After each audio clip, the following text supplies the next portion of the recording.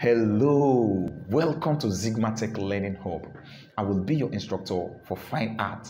You can call it visual art as well, cultural and creative art. Now, for this class, we are going to be taking our exercises from the exam guide app. Now, if you don't have this application installed already in your device, I will advise you download this app in order for you to follow along this class. Now, Exam Guide is a leading educational app that helps students prepare adequately for exams, for various exams such as UTME, Post UTME, WAEC, GCE, KCPE, IJMB, JUPEB, Cowbellpedia, BECE, JSCE, NCEE, NECO, to mention but a few. You can download the app from our website www.examguide.com or you can download it as well as using your Google Play Store. Please subscribe to our channel and turn on the notification bell to update to be updated on new videos as we upload. Now, if you're ready for today's class, okay, let's get started. All right, welcome once again to another beautiful edition of Culture and Creative Arts. Today we are going to look at color theory. Come on now, how many of you is excited as I'm excited today? Okay, all right, for me, I'm so excited because I like talking about colors. I love colors. I love colors. I don't know about you. Do you love color the way I do? Oh, yes. All right, if you do now, let's verge into it and then see all the things we're going to know about color because I know there are a lot of misconceptions that you know that today I'm going to debunk. Are you ready to go with me? Okay, now let's go there. Yeah. Today we are going to talk about the color wheel. You see how beautiful these colors plays. We are going to discuss all of that. We're going to talk about the tertiary colors, secondary color, primary colors to mention but a few. But now let's look at our objective. Now, at the end of this class, I would there are a lot of things I want you to know. Number one thing I want you to know is to know the definition of the word color, what exactly color is, and the meaning. Now, number two, you'll be able to state the classes of color. And then number three, you will learn to explain the properties of color. Now, listen, inside each and every one of this, there are other informations you will get. Now, don't just think that okay, we are going to learn just seven, eight things. Yeah, there are a lot of things you gain in the course of what? The study. Like you also know who was the very first person that experimented about color his name are a little bit about you know about color. Now we look at about we will learn by the end of this class we also explain like you learn to explain the properties of color. You also learn how to explain what how to mix color now you should be able to state the importance of color you'll be able to describe the family of color and finally you'll learn to interpret the interpretation of what each color what does this color mean to this man is quite different from what it means to this other person. So without any further ado, let's get started. Now, introduction. Now, we are very much surrounded by colors within our immediate environment and in nature. Now, we live with colors daily in as much as we can. We see color everywhere. It is easier to remember colors of an object even more than the shape of the object. Now, you can relate with that. You can actually remember my color than how you know, my head looks like. So you know, okay, he's a black man. He's a white man. You pick that first at a glance before you start talking about what his shape. Okay, he's a white man, but he has what you know. This um, is it up Opioro mango head. Forgive me that, but you understand what I'm trying to talk about. Yes. So you you you tend to get in contact. You relate with color first before you start relating with what the shape. Now people have their own color preference and they give various meaning to what such colors. So I just want you to put that as the back of your mind. That's our introduction. Now, people call color. Color can mean so many things to, me, to people. Now, if you watch, look at the image we have there. We have calm, we have content, we have jolly, we have greed, we have interested, we have af- afraid, we have surprises. It means a lot to different people. So each and every one of those color tells a different story. So that's exactly what this image is trying to explain. Now let's look at what the discovery on color theory. Now the study of a science. The study of science has shown that color is present in what? Light. Now, the color, the, the, study of science shows that color what is present with light. What does that mean? It means the absence of light is the absence of color. So when there is no light, there is no color. Hello? Okay, you want to doubt that? Close your eyes. Close your eyes. Now, which of the colors can you see? Now, you see, since your eyes are closed, light is not entering through your eyes. So therefore, everything is what? Black. It's just dark. It's vague. That's exactly what it means. So if you close your eyes, you don't see anything. But if you open your eyes, light comes into your eyes and then you what? It reflects. So that's exactly what the study of science how to show that. So one of such great scientists who made such remarkable discovery on color theory was what Isaac Newton. Is who? Isaac Newton. Have you heard that name before? Sounds strange, right? So Isaac Newton was the very first scientist that experimented what about color. He discovered the color of what the spectrum, which is what in a kind of um, in a kind of sequential arrangement, you know, of what the rainbow. You know the rainbow, how the rainbow is. You have your the way it was sequentially arranged. So when Isaac Newton did his practicals, he discovered that the color in the spectrum was sequentially what arranged.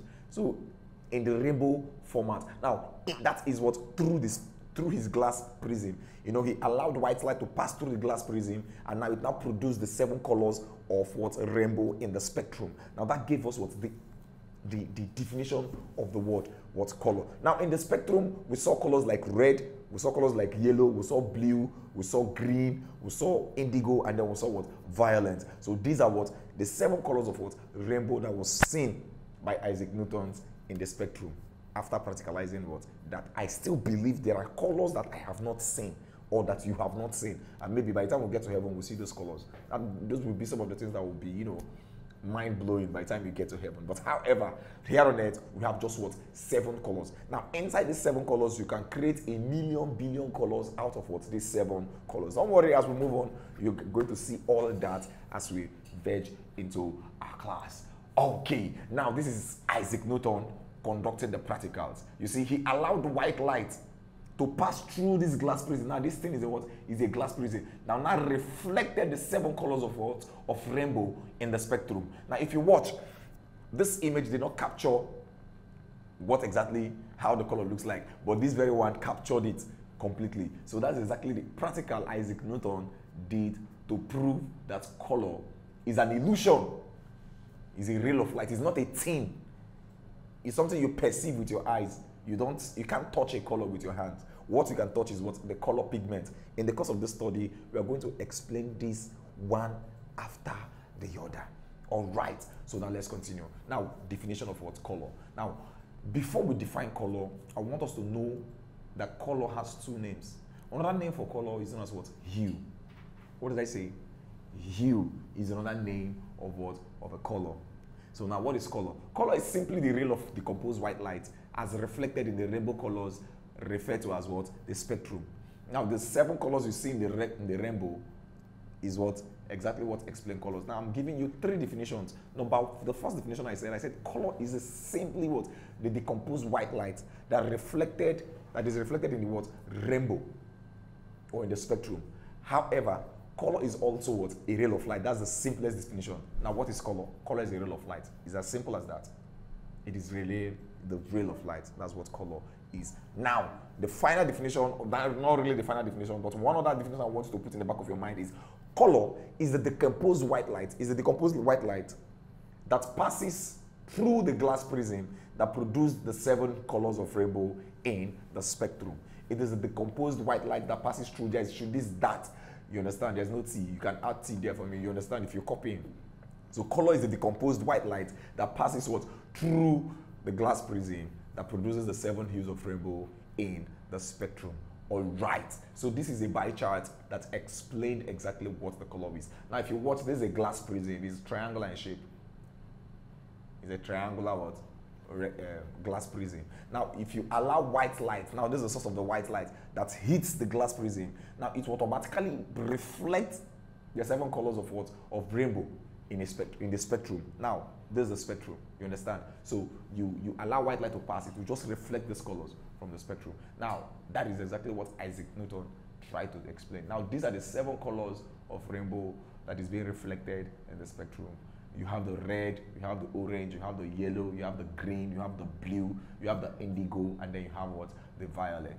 So this is what exactly what color entails. This is just the definition of what? The word color. So whenever you say define color in a diagram, they're asking you to draw this diagram.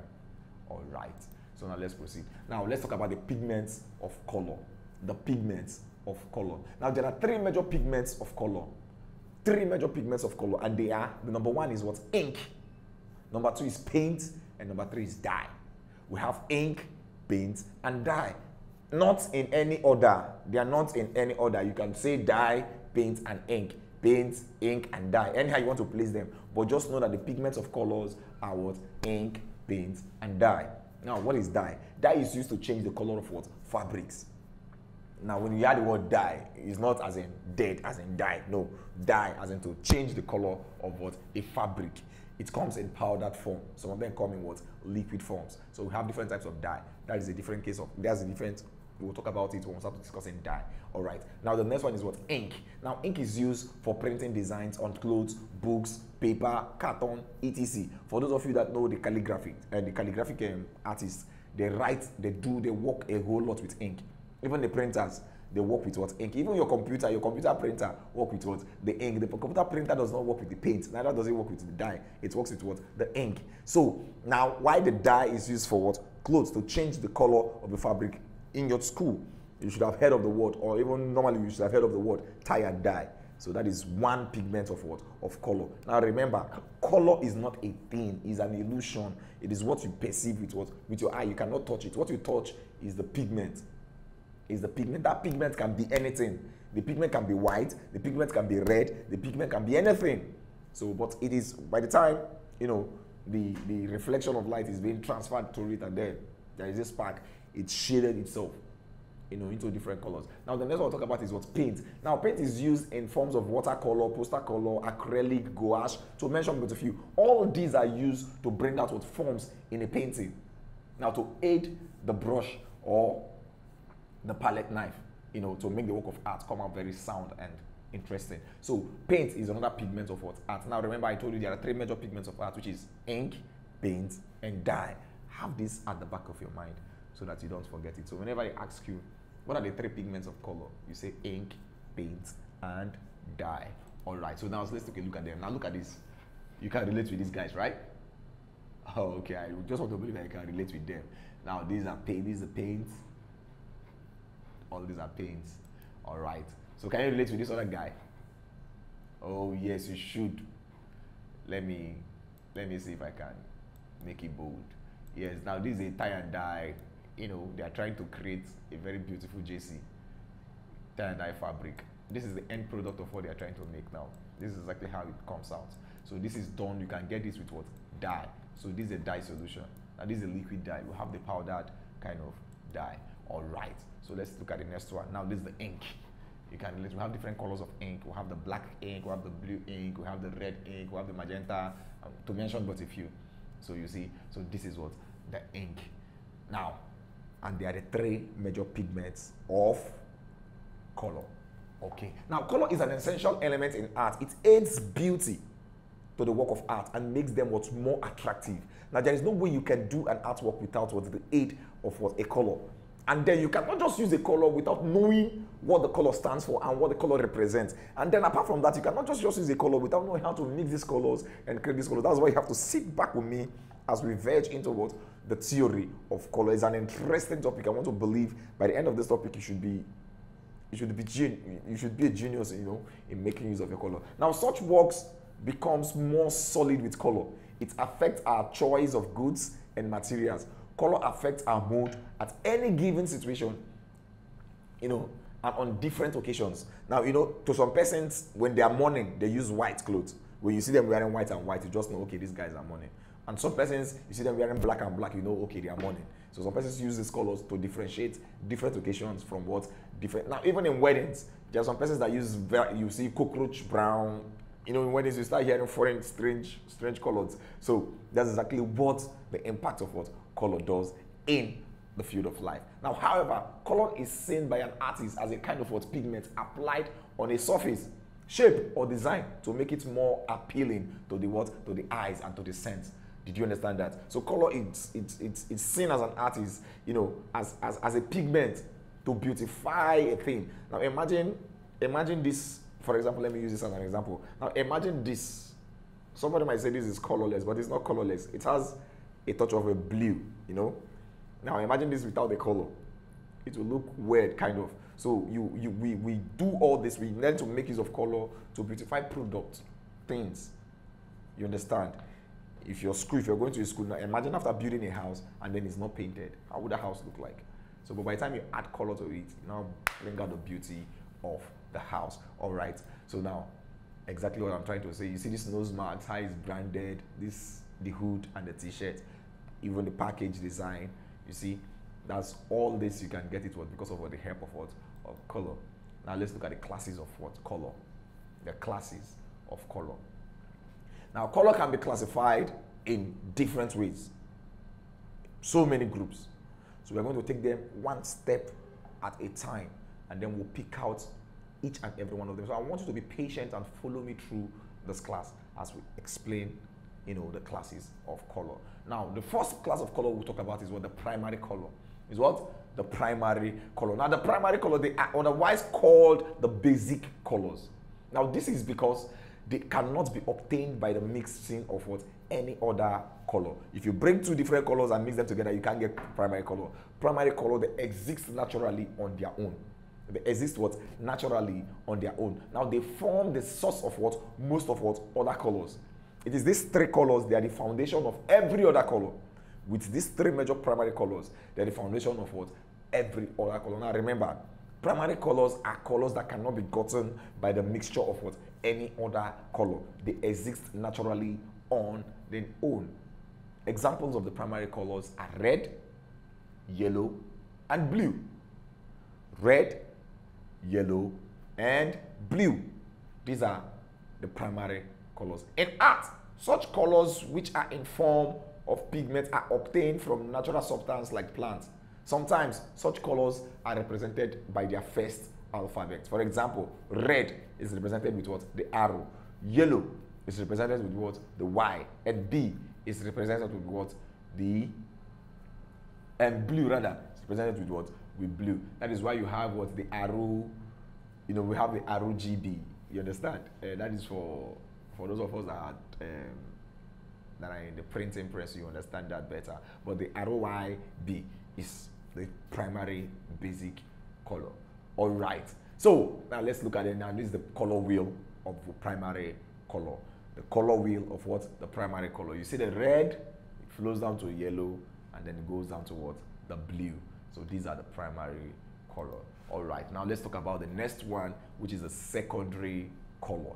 It is the secondary color. Now the secondary colors, these are mixture of two primary colors in equal proportion that results into a secondary color. By the time you bring two primary colors like the red and the yellow and mix them together in equal proportion, you will get a corresponding what? Secondary color. I hope you understand that. The primary colors and um, secondary colors are colors that are gotten from the mixture of two primary colors. Now, another name for secondary colors is known as the binary hue or colors.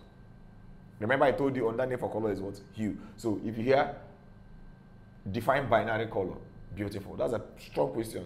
And then you get confused. No, what they're just simply asking you, they're asking you to define secondary color. Name for secondary color is known as what? The binary color. Just as the primary color is known as the basic color. You get that? All right. So now, this color can be gotten from the mixture of what? Two primary color. Examples, we have the red plus yellow will give you orange. I have red plus blue to give you purple or violet. I have blue plus yellow that will not give you what? Green. I'll take it again. Red plus yellow, orange. Red plus blue, purple or violet. Blue plus yellow is red. And is green. Now, these are the what three secondary colors. So automatically, the three secondary colors are orange, purple, and green. What are the three secondary colors? Orange, purple, and green. So they're the three major secondary colors. Now, the set of colors by the right hand side are what? The secondary colors.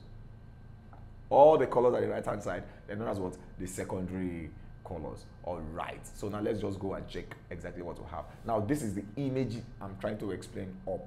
Now if you see red, sorry, let's go back. Now red plus yellow will give you what? Orange. Yellow plus blue will give you green. blue plus red will give you violet or purple. So it is known as what? The primary and the secondary colors. So they are the secondary colors. Now this is the color wheel of a secondary color. You see red plus blue will give you purple at the middle.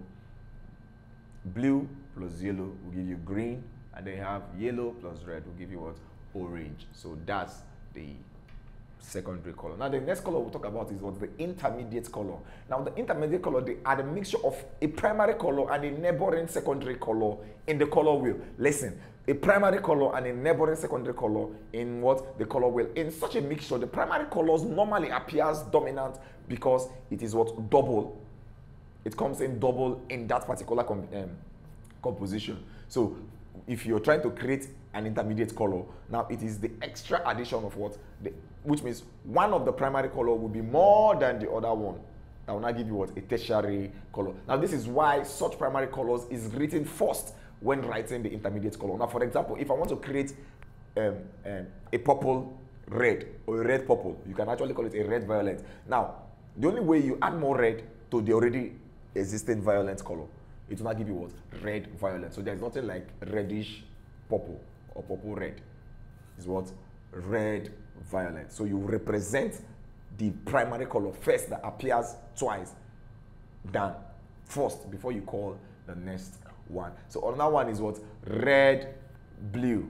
You know, red plus blue, which is the red violet, now is the combination of red and blue. That will not give you what's the purple. So that is an example of that. Now, since there are three primary colors and three secondary colors. The total number of intermediate colors shall be what? Six.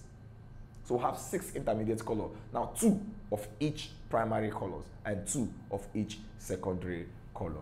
So that is exactly how you get your intermediate color. Now for example, you have the primary plus secondary gives you what? Intermediate. Now let's see. Now red violet, red plus violet will give you red violet. Red plus orange will give you red orange or uh, yellow green you see, green plus yellow plus green will give you what? Yellow orange. Now also have yellow plus orange will give you what? You know, yellow orange. Like I said, now yellow plus violet and blue plus violet will give you what? Blue violet. Just to mention but a few. So now that will give you a total number of what? Six intermediate color. I just hope you're not missing it. Remember, I said intermediate color is the mixture of a neighboring secondary and primary color to a neighboring what? Secondary color in the color wheel. That is that about the intermediate color. Okay, let's take a look at this diagram. Awesome. You see how harmonious this image looks. You see how the color blends. Looks so interesting and so clean and so whoa. So that is exactly what you know the, the, the intermediate color is telling us. For example, if you you see how it goes down, it crescended down into and it's just what the intermediate color is trying to explain. Now, however, further experiments with colors has shown that the number of intermediate colors is unlimited because the proportion of each mixture can be varied to what an unlimited what degree. If you watch that image I showed you, let's go back a little bit. Now, if you see the intensity of this orange color here is not the same thing with this. So you can get a million orange color from the intermediate that is exactly what the intermediate color is trying to say. You can break it down to countless of colors just from one color. So it depends on your what? On your mixture. All right. So that is that about what the intermediate. Now, in other words, there are there is no one yellow green that is possible by mixing green and yellow. You can get several yellow greens. If more yellow is used, you have different, you know, different gradients of what that particular color. Now, a different, yes, we have a different gradient of that particular color. All right, now let's continue. Now, the color wheel illustrates the relationship between the various hues. Now, the farther away hue are from, are from each other. Now, the lesser they have in what's common and the higher their contrast. Now, the analogous harmonious combination colors adjacent to what one another in the color wheel is a perfect example. That's and what I'm just trying to explain is exactly that image you saw the very image you saw previously is exactly what I'm trying to explain here. Such as we have the red, we have the red orange down towards? The red orange orange. Hey, did you understand? You have the red, the red orange, the red orange orange, and then you have the orange, and then you start going down, down to the lightest of it all. All right. So this is a perfect example of what, you know, will I just use a monochromatic kind of grading? You see the blue crescended down harmoniously. So that's exactly what I'm trying to explain with the intermediate color. All right, so now let's look at what the tertiary. We'll have to be fast because I'm running out of time. All right, tertiary colors. Now, the mixture of two secondary colors gives you a tertiary color. If you bring two secondary colors, you mix them together, you get a tertiary colors. Now, this can actually be obtained, you know, because the first color will actually neutralize the second color. So I would not want to bore you with that. So, but just know that if you bring two secondary colors and mix them together, you get what? A tertiary color. Now, let's see a bar chart I did on what? The tertiary color. Now, the tertiary color is orange plus violet will give you what? Reddish what? Brown. You have orange plus green, you know, smoky yellow, just like that. That is what? Tertiary color. Now, this is a very perfect example of what tertiary color looks like. Some of the words are, you know, you get in tertiary color, you start getting strange names like the urban, the vermilion, you have the magenta, you have the, the teal, to mention. But if you, so this is a perfect example of what the tertiary color. If you mix two secondary color together, it will give you a tertiary color. Now let's look at the complementary color. Now complementary or contrasting color. Now these are colors that sit opposite each other in the color wheel. Now when two primary colors are mixed, it becomes a complementary or a third, we can call it a triad. Now they are often referred to as opposite color when describing them in reference to the color wheel. For example, purple, which is the violet, is complementary to yellow. I will explain that to you. Orange, which is a mixture of red and yellow, is complementary what? To blue. And green is complementary to what? Red. So complementary colors are colors that sit opposite each other in the color wheel. Now let's look at example of complementary color. You see, the yellow is directly opposite what? To purple. That's complementary. Blue is complementary to what? Orange. Red is complementary to what? To green. So these are colors that sit opposite each other in the color wheel. I want you to know them. Try as much as possible to differentiate between each and every one of them. So this is how far we can take for today. So till we meet again, but before we go, I want us to look at what we've learned so far. Let's take a quick look at what we've discovered, what we've discussed in this section. All right. Now, first of all, we looked at the, um, the, the discovery of the theory of what? Of color, the color theory. And then we went further to define what color is. And then I told us, and we also discussed the pigments of color. Finally, we also talked about what some of the classes of color. And in this class, we've talked about, about four different classes. We talked about the primary colors, talked about the secondary colors, talked about the intermediate colors, talked about the um, tertiary colors, and then we talked about what the complementary colors. So these are the first five steps of colors that we discuss in this section. Now in subsequent sections, we are going to discuss the properties and other properties of color, the interpretation of color, a lot, a lot, even color mixture, how you can mix colors to get exactly what you want. So now, having said this, let's go over to Q and A. Let me see how far we've gone. So, Q and A. Now, let me ask you, define color. I gave you three definitions of color. First, I told you color have two names. One is hue, and the other one is color. And then what did I say color is? I told that color is the passage of white light through the glass prism that produces the seven hues of rainbow in the spectrum. And I also told you that color is a ray of light. It is the decomposed white light that passes through the glass prism that produces the seven colors of rainbow in the spectrum. And those are the things I told you about color. I will also mention, I actually now, now mention two classes of colors. Yes, primary color, secondary color, tertiary color, intermediate color, complementary color. You are very, very correct. Okay, so now let's go into the exam guide. All right, you, you know what we're studying now, cultural and creative arts. So creative arts, you click on creative arts, you check it, and then let's click on random. So the topic we treated is application of colors or application of colors in arts. We'll click it and then we'll say okay and then get started. So let's see question number three. Let's answer question number three. The, the reference to two wheel, to color wheel, opposite, sorry, in reference to color wheel, opposite colors are referred to as dash. Opposite colors are referred to as dash. A, complementary. B, harmonious, intermediate, primary or tertiary. What are the colors that sit opposite each other? That's just what we talked about. Now, complementary colors sit opposite each other in the color wheel. If you say complementary color, you are very correct. All right. So now let's look at the next one. Now, which of the following art material comes in one color? Which of the following art material comes in one color? Da da da. And then if you click, if you say chalk, uh, chalk, charcoal, crayon, pastel, and watercolor. So which of them comes in one color? Come on, it's obvious now. Charcoal comes in one color, and that is the answer. Thank you for participating in today's class. You can practice more questions using the exam guide. Now, the app scores and give a detailed explanation of all the questions at the end of your practice test. Now, you can learn a particular topic of interest with different modes like study mode, mock mode, and practice mode. It also have other features that make learning fun. Now, it is a must have for all serious students. Download the app from www.examguide.com if you don't have it yet. See you in the next class. Don't forget to subscribe to our channel, hit the notification bell, and then share this video to anyone you know that would benefit from it. Thank you and bye bye.